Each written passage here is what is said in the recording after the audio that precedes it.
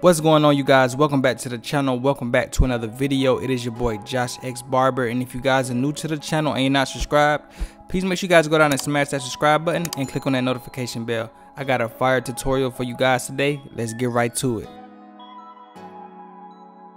As you guys can see, the client feature today is rocking like a Travis Scott braid type of style. Right here I have my scrunchie and I'm about to pull up all the hair together to get it into one ponytail so we can get started on the haircut. So today I'm going to be giving my client a taper on the sides and on the back. Right now we're going to comb out a lot of the new growth and we're going to be knocking it down. And to take off the bulk, I'm going to go in with my 1.5 with the lever all the way closed, going with the grain.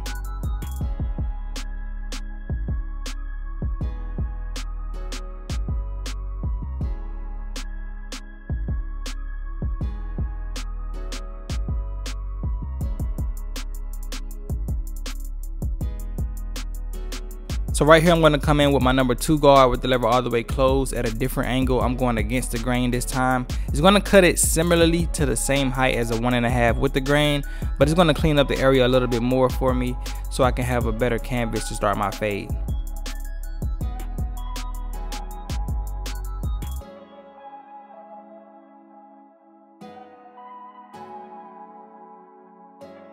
So we're to be giving my client like a low mid taper and we're to be keeping the C cups. So I'm to start my ball line right at the crease where the ear meets the head and we're to go from there. So here we're coming in with our clipper with the lever all the way open with no guard on, going up about a half an inch to create our first guideline. And to take out this guideline, I'm gonna start with the lever all the way closed and then open it up gradually as it blends out.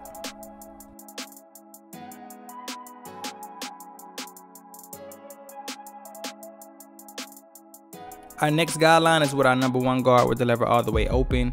And we're gonna go about another half an inch. And then I'm gonna drop down to the number one guard closed to soften the guideline. And then we're gonna come in with our half guard right after that and it should be blended out completely.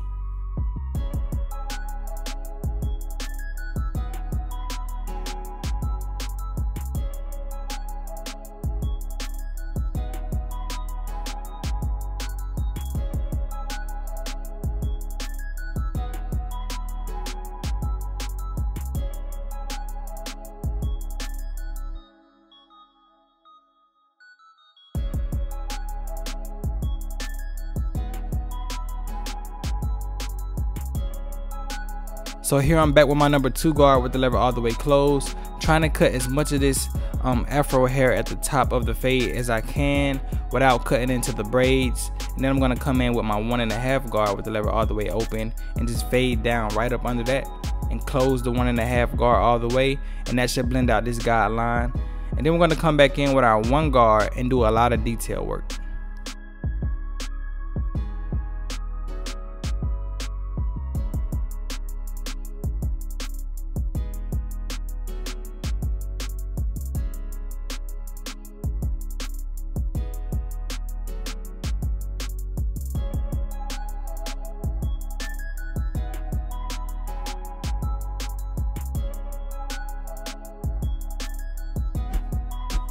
And this clipper over comb right here, it just kind of helped me get that extra hair that was at the top of the fade that I couldn't get with the guard.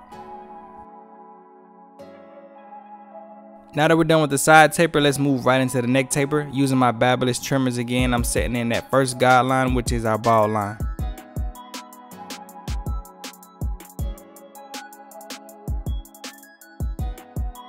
Just like how we did on the side taper, I'm coming in with my clipper with no guard on with the lever all the way open, going up about a half an inch, keeping the width the same and keeping it parallel to the ball line as we created.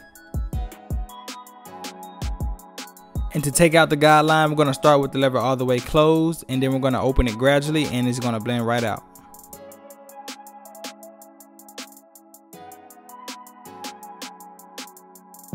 And we're back with our number one guard, but this time I started off with the lever all the way closed.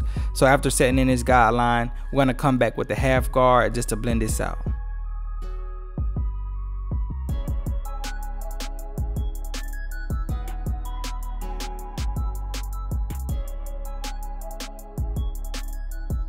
So right here I have my number two guard. I'm not gonna fade up as high because he has a lot of new growth that he's gonna probably eventually have to get put back into his twist. And I don't wanna cut a lot of that. So I'm gonna keep this fade really shallow. I'm not gonna try to blend up too much and get it too perfect. Just enough for me to be able to fade right into the afro hair that you guys see at the back of his head.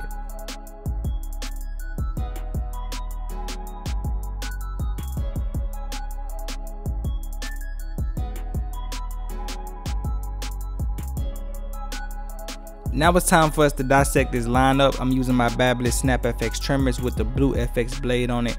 One of my favorite blades so far. I've been using it a lot lately. Um, yeah, so my client has like a lot of light spots at the top of his uh, hairline towards the corners. So we're gonna keep it as natural as possible.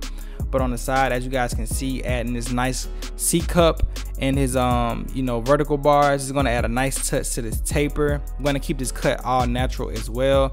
So I'm gonna sit back and let you guys watch the rest of this lineup process come together.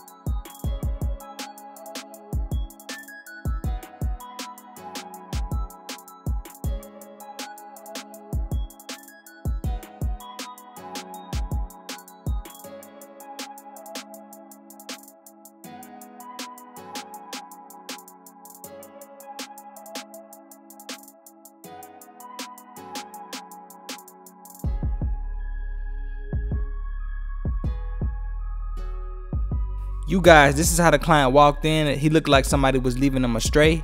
He's wearing a cape, but I had to save the date. And without further ado, this is the cut. Let me know in the comments what you guys think about this haircut. And if you guys like this video, make sure you guys leave a thumbs up on the video. It helps the channel out greatly. And if you guys are new to the channel, make sure you guys go down and click that subscribe button and click on that notification bell so you guys don't miss out on any new drops. You guys also can follow me on all platforms at Josh X Barber. It's your boy Josh. I see y'all on the next one. Peace.